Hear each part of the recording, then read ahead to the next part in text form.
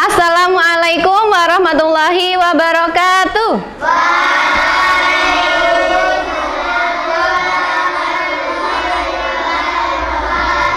Bagaimana kabarnya anak-anak?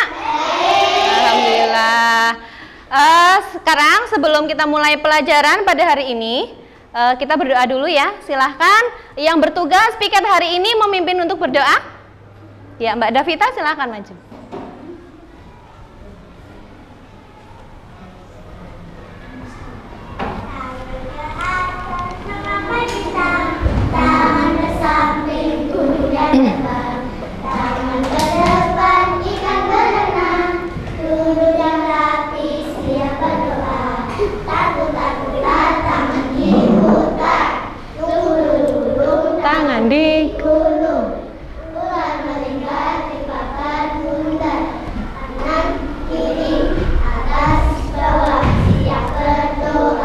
Sikap berdoa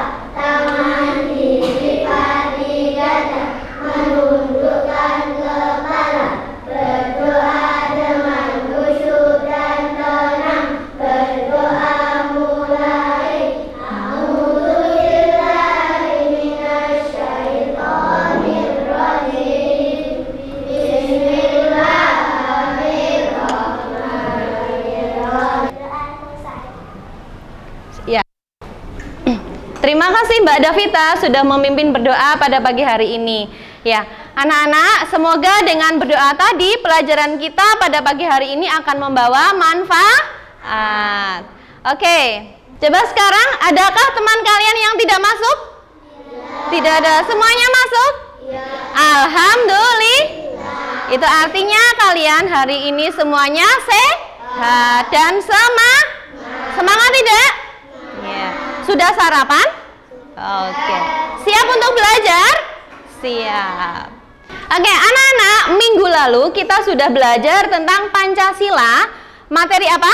Simbol-simbol Pancasila. Coba Bu Guru eh, ingatkan lagi. Simbol pertama itu apa? Bintang. Bintang. Simbol yang kedua? Rantai. Yang ketiga? Yang keempat? Mm-mm. Yang kelima? Betul, bagus sekali. Ya, sekarang Bu Guru akan mengingatkan lagi tentang pelajaran yang kemarin. Eh, bunyi sila pertama sampai dengan yang kelima. Pancasila,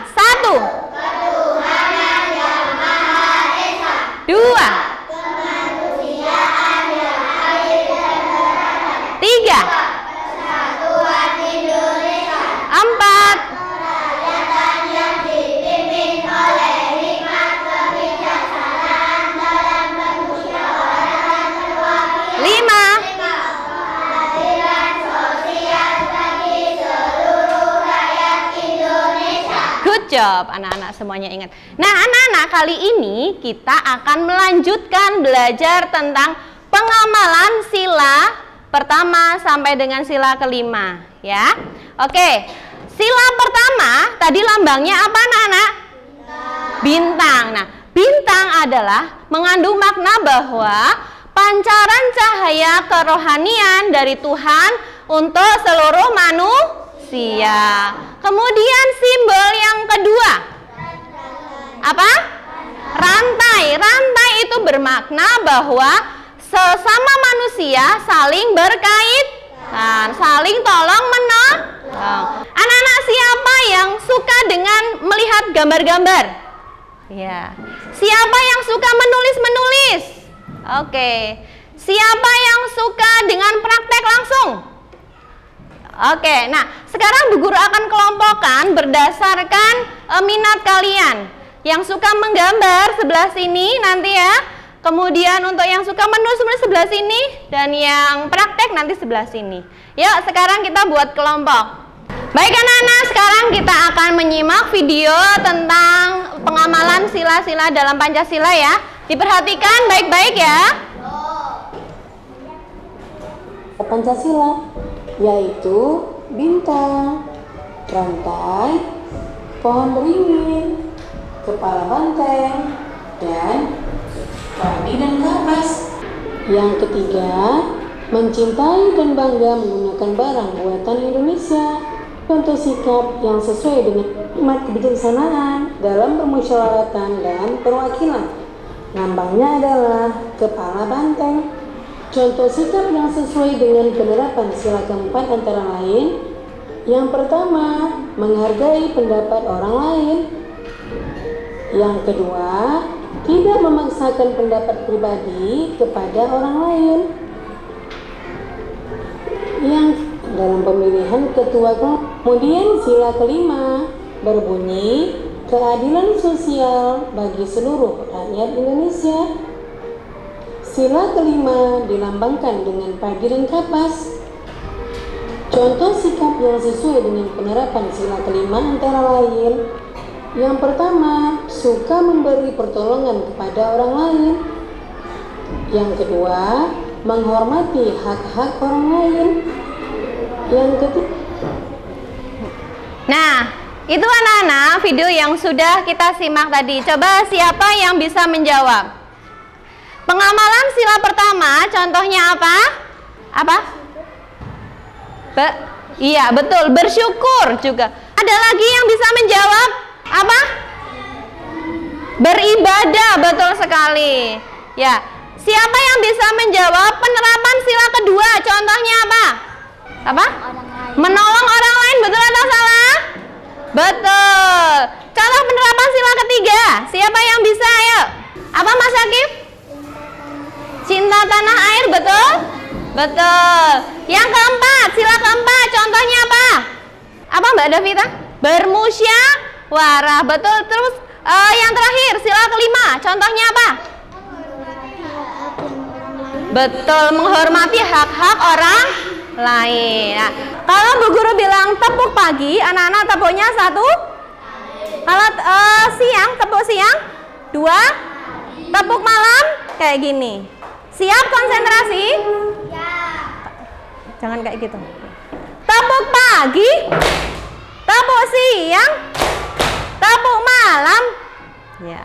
Tepuk pagi, tepuk siang, tepuk malam, tepuk siang, tepuk pagi, tepuk pagi, tepuk siang, tepuk malam. Oke, anak-anak semuanya konsentrasi. Anak-anak sekarang Bu Guru akan memberikan tugas.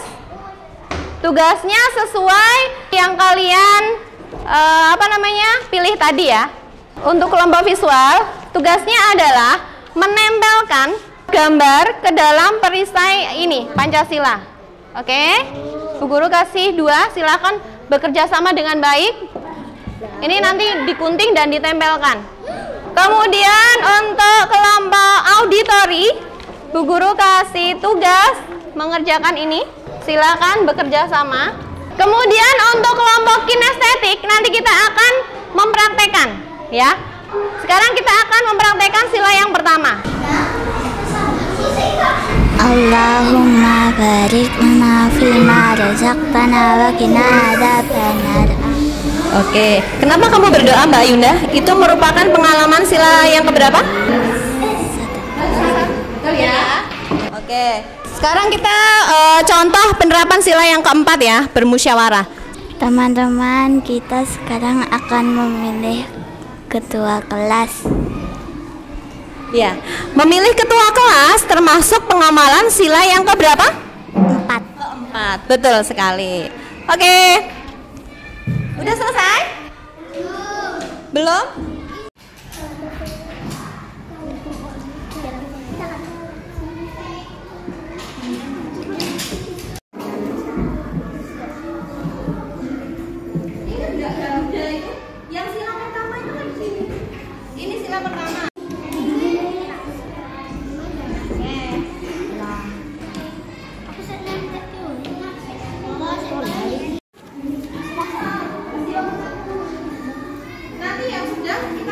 Dah? Oke. Anak-anak sudah selesai semuanya? Dah, sekarang hasil pekerjaan kalian kita tempelkan di papan tulis ya. Yuk. Pelajaran apa yang dapat kalian ambil dari pelajaran hari ini? Kita harus melaksanakan nilai-nilai Pancasila. Betul. Siapa lagi yang mau menjawab? Bersyukur. Iya, kita harus bersyukur menjadi bangsa Indonesia. Oke anak-anak, bagaimana perasaan kalian setelah mempelajari nilai-nilai dalam Pancasila? Senang. Oke, sebelum kita tutup pelajaran pada pagi hari ini, Mbak Davita memimpin berdoa kembali. Sikap berdoa, tangan dilipat di dada, menundukkan kepala, berdoa dengan khusyuk dan tenang, berdoa mulai. A'udzubillahi minasyaitonirrajim. Bismillahirrahmanirrahim. Allahumma, Allahumma arinil haqqa haqqa warzuqni jatiba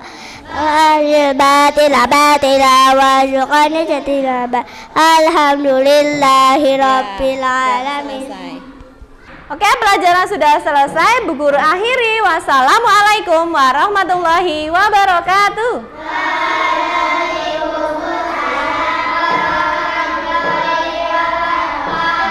Sampai berjumpa pada pelajaran berikutnya.